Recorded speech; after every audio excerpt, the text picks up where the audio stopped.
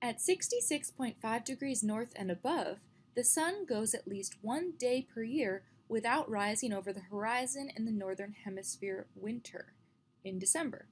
Similarly, at 66.5 degrees south and below, the sun goes at least one day per year without rising over the horizon in the southern hemisphere winter, June. These latitudes are called the Arctic and Antarctic circles, respectively. The regions between 66.5 degrees north and 90 degrees north latitude and between 66.5 degrees south and 90 degrees south latitude are called the polar regions.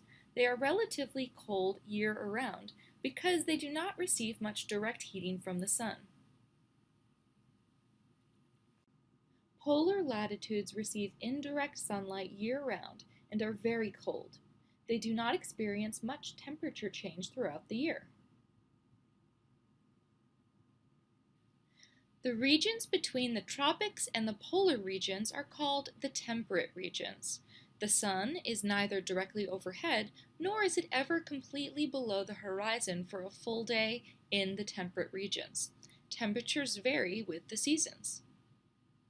Temperate latitudes receive direct sunlight for part of the year and indirect sunlight for part of the year. They experience distinct seasons.